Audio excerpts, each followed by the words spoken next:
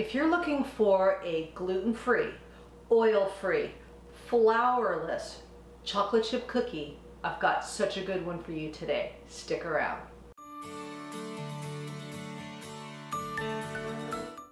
Hi, Debbie Chu here from Chew on Vegan and welcome back to my kitchen.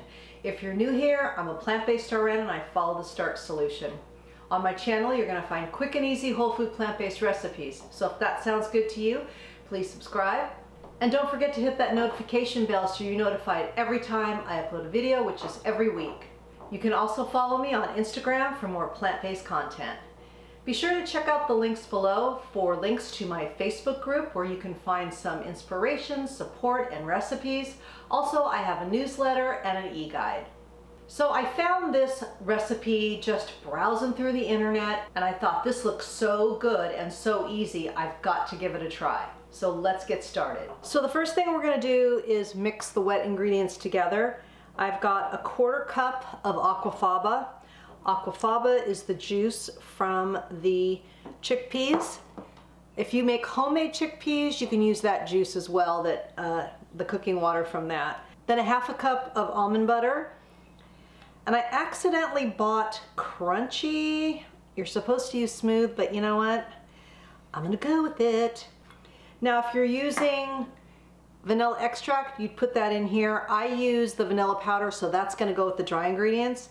Then we're going to mix this together till we get it all incorporated, which will take a minute. I mean, you could use a mixer if you wanted to, but why dirty something else? It just takes a little, little elbow grease here. Look at that, it's already getting there. So the aquafaba is replacing eggs in this recipe. And the almond butter is replacing the oil. Now I know, almond butter is a higher calorie food. I know that. But not all of my recipes are for weight loss. This is a lovely little dessert. It's a lot healthier than anything else you're going to get at the store. And it's okay for a treat. If you are still trying to lose weight, then you might want to skip this recipe. But if you are in maintenance, this is a great cookie to have occasionally. We'll set that aside. Then we're gonna add all the dry ingredients together. So here I have my baking soda and my vanilla. I've got some cacao powder. You can use cocoa powder. And I have tweaked this a little bit to my own personal taste. And then I've got some coconut sugar. And then we're just gonna whisk it all together. Just want to make sure everybody is mixed together and kind of and try to get rid of any big lumps you may have. You could also sift this if you wanted to, but again, I didn't feel like getting something else dirty. Okay, now we're gonna put the dry into the wet. And did I mention this is double chocolate? and then stir this to combine.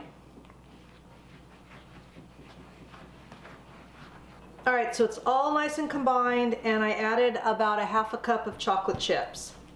And it took some, you know, some elbow grease, but that's okay. Now we'll put these on a lined baking sheet. You wanna get a, you wanna have your little scooper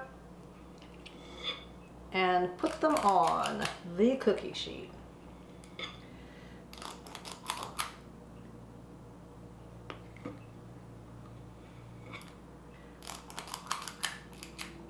It does, it does say in the recipe if you want to make it easier to work with, you can refrigerate it for 30 minutes, but yeah, I'm not good at waiting.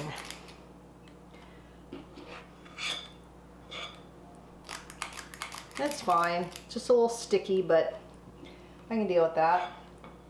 All right, I'm gonna put these in the oven. It's preheated at 350. It said 9 to 12 minutes. I'm to start with 9 because I like my cookies a little chewy. We'll check them at 9. Okay, well it looks like I have a brownie instead of cookies. Perhaps I put them too close together on the cookie sheet. When I was putting them on there, I kind of had that feeling, but I thought, eh, let's just see what happens. This is what happened. So we're gonna let these cool and see um, what we can salvage. So I'll check back with you. Okay, as you can see, they came out just all different kinds of shapes. I did get one perfect cookie and that's the one I'm gonna show you. So these are amazing. I don't care what they look like. I am gonna make another batch and make them farther apart so I can get a nice pretty picture for my thumbnail. But I just wanted to show you this cookie. It is amazing. And I like, it's like, mm, yeah, it's a little bit crispy on the edges, but oh, soft and chewy on the inside. Mmm, to die for. So good. So, live and learn. So you see, not all of my recipes come out perfect either, so don't feel bad if yours come out a little crazy like mine did. Just remember, we're gonna put them, you know, like at least two inches apart. So that way when they spread, they don't make like a unicookie. So if you like this video, if you learn something, if you learn what not to do, then give me a like.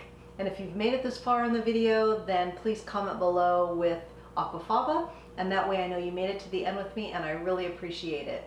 And I may have bloopers at the end. I don't know, you're just gonna have to wait and see. But remember, all my recipes are good for you, they're good for the animals, and they're good for the planet, and what you put on your plate determines your fate. Until next time, thank you. then I've got a half a cup of almond, yeah, almond, uh, one moment please. So if you liked this video, if you thought it was funny, sad, um, give me a like.